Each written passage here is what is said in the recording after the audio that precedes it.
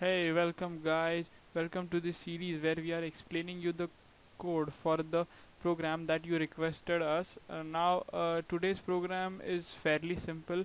Uh, what we are going to do is just swap two numbers uh, with the help of temporary uh, now there are two programs that we'll be doing. Uh, one is with temporary variable and other is without the temporary variable. This one is the one with the temporary variable. Now let's look. Now for those people who don't know what is swapping suppose we have a variable 1 which has uh, 125 stored in it and we have a variable 2 which has 25 stored in it. Now what we want to do is just to swap the contents. That is interchange the content of uh, each variable. Now this is swapping. Now uh, how do we do this in code? Now let's look at the algorithm that we uh, that we'll be using to um, swap the uh, numbers now suppose we have uh, variable 1 and variable 2 in variable 1 we have 125 stored and variable 2 we have 25 stored.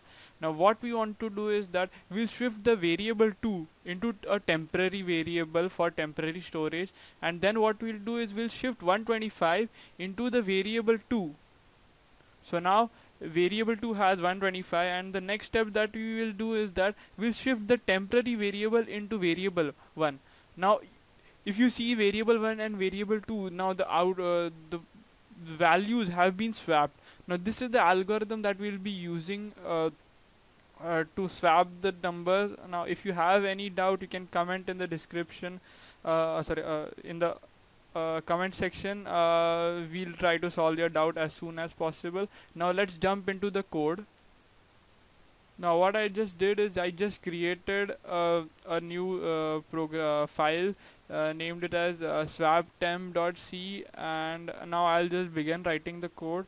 First we'll just include the stdio for input output. Now let's write down main.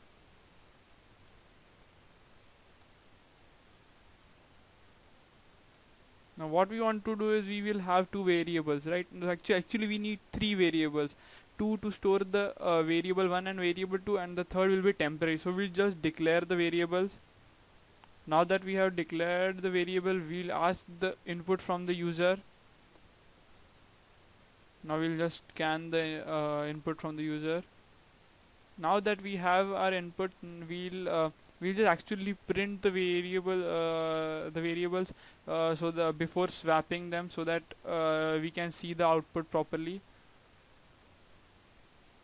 now we'll just apply the logic uh, that we discussed. First what we'll do we'll just put uh, we'll just assign the temporary as variable the value from the variable 2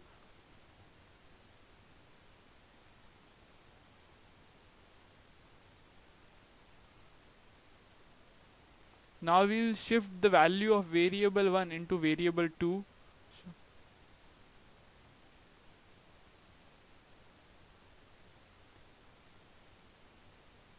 and now we'll shift the temporary into variable 1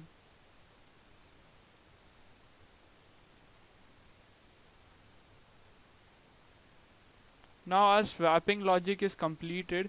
Now we'll just print them uh, after swapping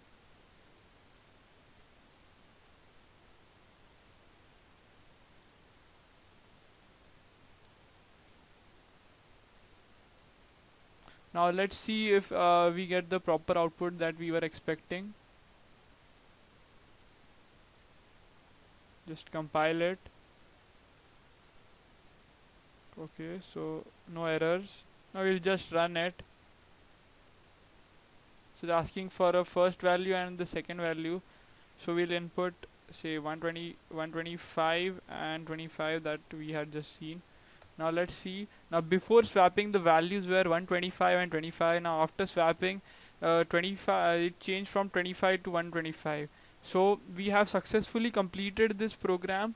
Uh, now thank you for watching this. Uh, please uh, like the video and subscribe for many I will be posting a lot of videos. Now if you want any program to be done by us now you can put it in the comment section. Uh, we'll try to post the video as soon as possible. Thank you